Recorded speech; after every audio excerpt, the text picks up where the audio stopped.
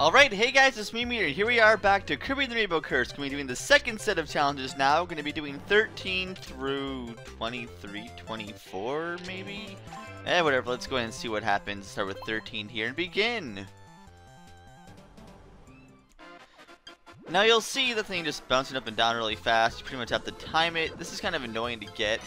But thankfully, you fall and move slower than that thing actually moves up and down. So there's that but still kind of an annoying one. Here you just see a cannon.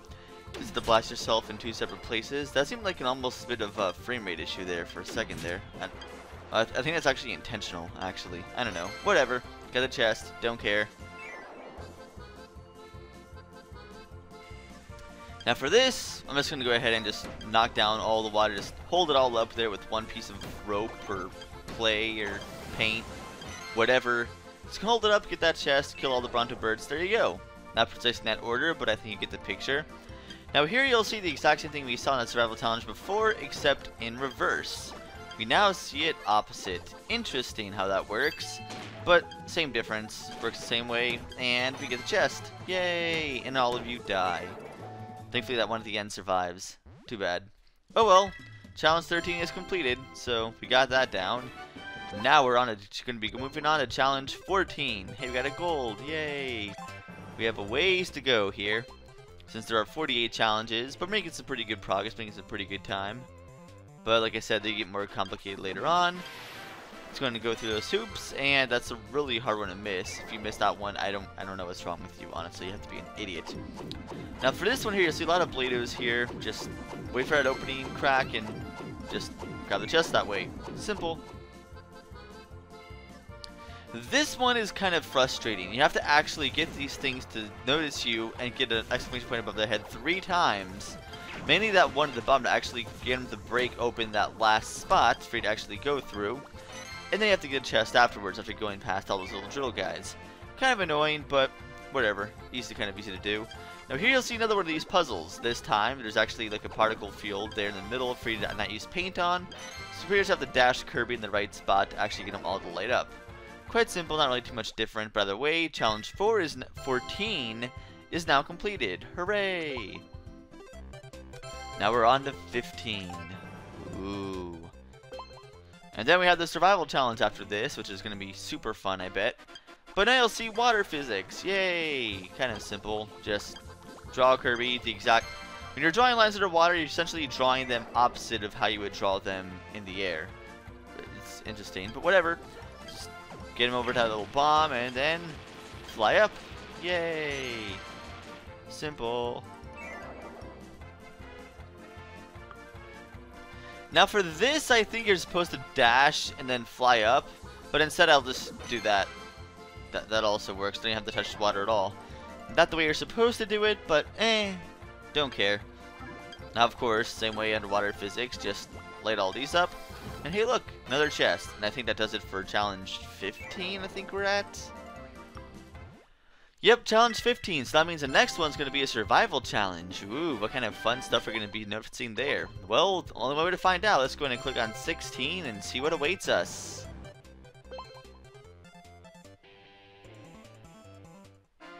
We have one of these in the opposite direction of what we saw before. So there's that. Works the exact same way though, just opposite. So you gotta just flip your look in the mirror. It's essentially the same thing, as far as I could tell. Now wait for all these things to spawn. You'll see the Bronto birds spawn there too.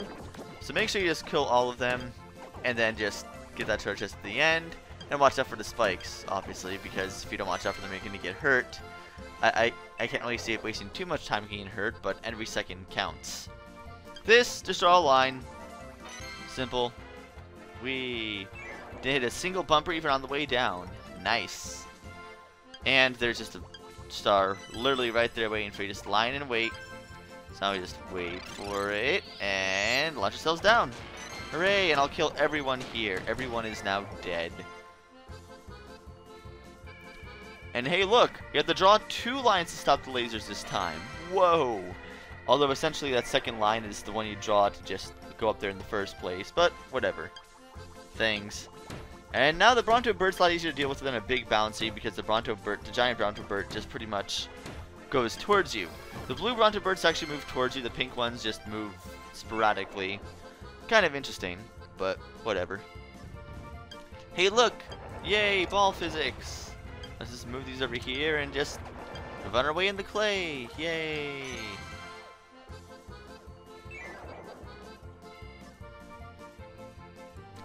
And then of course, spear guys, just kill them in this order I'm using here. Probably the easiest way to avoid taking damage, even though I'm not doing a very good job of not taking damage. But I still got it, with 5 seconds to spare. Hey, anything helps. And now you'll see one of these already lit up. Oh man, so pretty just have to draw over there and avoid the one at the bottom. Quite simple, relatively easy, but hey, we still got it. And now you'll see these Blados again doing the exact same thing in the opposite direction. Let's just go ahead and try falling down here and not get hit by any of those, which is nice. And now we have this. Be careful on this spot. You want to actually jump up above these guys, or float above, whatever. Then move back so you don't get hit by the last one. Think that little treasure chest lying right there and wait. Yeah, really easy to get squished there, and that would be annoying if you do get squished there because it's so close to the end. This one's annoying. You draw very, very carefully. Aw. Alright, let's do it this way. There we go. But yeah, any of those cannons just launch you back up. Kind of annoying. A lot more precise in drawing than it was before, but whatever. Same principle. Got the gold. Don't care. We're done. Well, not done with the video, but done with that survival challenge, I guess. But whatever. Moving on to 17.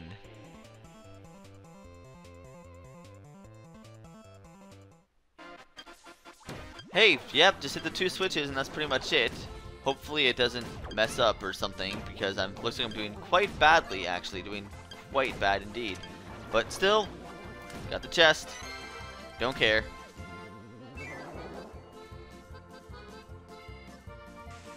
Now here is a bit tricky in all honesty.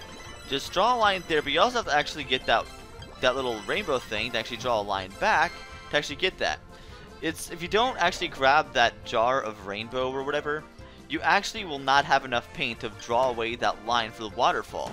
So you pretty much have to draw a line just long enough to reach it that way. Kind of interesting, kind of annoying, so you need to know what lines to draw. Either way, current, stream, same difference. Just dash. This one you want to go in the top one first, if that wasn't already obvious enough. Because you want to actually dash through the particle grid thing. And then dash one last time to get that little treasure chest. We 17 is done. Only uh, six, seven, eight more to go. I'm not sure what we're. Probably six, actually. Probably, maybe.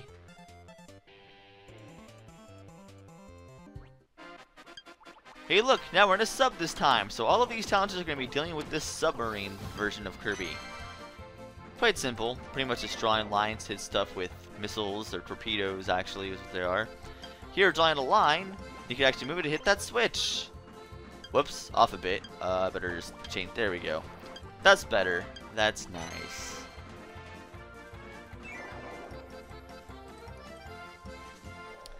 And of course, since you can't kill these guys head on, you pretty much have to draw a line underneath them to actually get them to kill them that way. And same difference, treasure chest appears. Whatever. Now this one, you have to be quick. You want to grab the star as quickly as you can, and as you're waiting for it to charge, head over to the chest, and then launch it out. Because otherwise, if you wait, if you actually try launching it back there where you were, you will not have enough time to actually grab that treasure chest. I have tried. But, whatever. We got it. Hooray. So now we're at 19. Ooh. Hey look, bombs! Let me run into them. That didn't work, obviously. Turns out to draw a line to actually get rid of the bombs, but just don't stay too close to them, as you'll explode. But if you have only 15 I highly doubt you're going to be able to kill yourself by hitting in 15 seconds. Unless you face these guys, because, of course, these guys are insta-death. And once you hit one, it's game over. And that's it.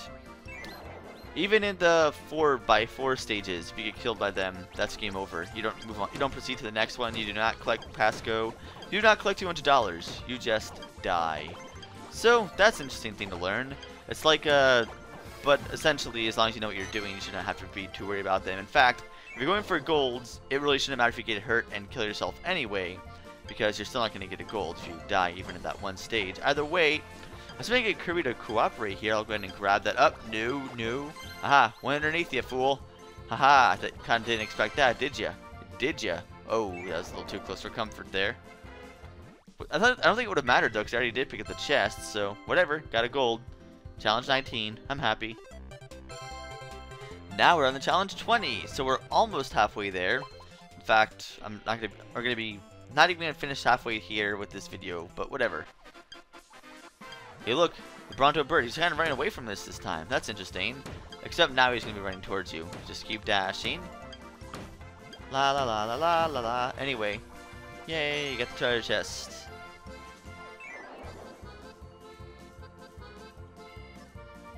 Now for these balloons here, of course you just knock them down and kill them, but be careful with this last group. You only want to hit the balloons you need to. Hit that balloon, hit that balloon, and ever so slowly get that treasure chest. If you wait for them to land and then try to dash into them to kill them, you will not have enough time to grab that treasure chest. I've tried. I mean, maybe it's possible, but not recommended. Either way, there you have to actually go through the Gordos to actually get that treasure chest, because if you go through the balloons, well, the treasure chest is going to fall. Simple enough. Oh, here's a random rocket out of nowhere. Pretty much want to take Kirby's rocket, just dash him through those two Bronto birds that aren't wearing armor, and work it that way. And now we finished challenge 20. So there's that. Ooh, and the survival challenge opened up. I think that's 23 that opened up. There are actually two survival challenges on this particular set, which is interesting, because the other one doesn't unlock till later, but whatever. Hey, we have more blippers to kill. As long as you know what you're doing with killing underwater, you should be fine. Now, you shouldn't really have too many issues there. Uh, in fact, the harder, I think it's actually harder to try to grab the treasure chest than it is to actually kill the blippers, but whatever. Hey look, a ring of stars. You're gonna grab all of these before the chest appears, obviously. So dash. Dashing is useful. And there we go. Hooray! Look at how much Kirby's spinning. He's just rolling and spinning so much. Now here, just draw a line. Just draw a line to the treasure chest to move the water down. Quite simple, really.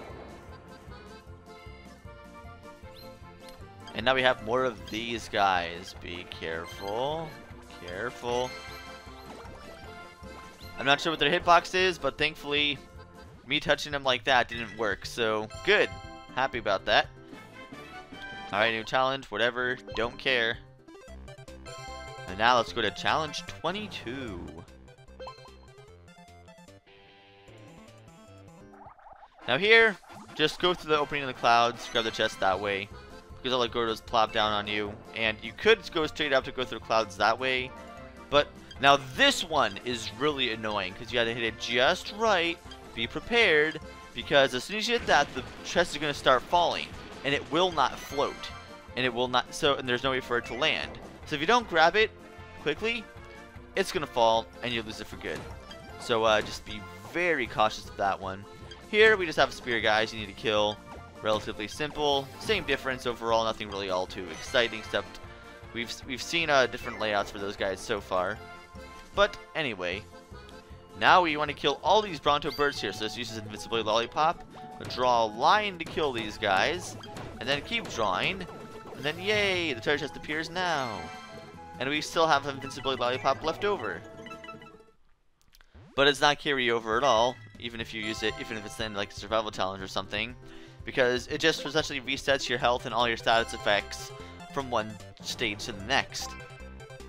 Anyway, let's do this wonderful survival challenge. This is the second survival challenge we actually did this particular episode. So that's interesting. There are five blippers this time. Ooh, five is more than four and more than three. Man, they're really stepping things up now, aren't they? Although admittedly, it is kind of annoying to actually catch them all. Come on. There we go. That was more stretched for time than I needed it to be, but whatever, it works. And now, same difference, just hit these little switches up here. Except this time they're all at the bottom instead of at the top or on the sides, so you have to deal with a lot more of them. So there's that, but still shouldn't be too big of a deal. Same difference, you're supposed to dash and go it that way, but I'd rather just get it that way. Easier, probably. I mean, it's probably just as easy the other way, I'm guessing, but whatever. Not gonna complain. Just use Kirby, hit that little bomb right down there, wait for the things to go away, and of course you can grab that chest that way. Hooray!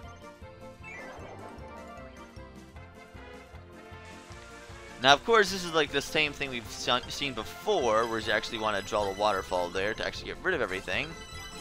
And then, come on, get that chest, please, please. There we go. All right, I'm happy. Got the chest. Don't care. Okay, gotta be careful here. Gotta be ever so careful. Come on. Come on. There we go. Aha. Although, I still want you guys to kill me, so I'll just stay over in that spot. Now, notice the water's coming from the top this time instead from the bottom. So now it's actually falling in the right direction. And you pretty much have to draw two lines instead of one. Ooh, challenging. Thing's gonna drop. There's a giant star in there for you to grab. So you actually have to get the star boost dash thing. And dash your way to victory. Hooray! And now we have, you know, water jet streams. You have to actually draw these. Still, same difference. Just grab that chest, and we win. How many more of these are left? Three more. Okay. Now these die, die in one hit. They just die in one small hit.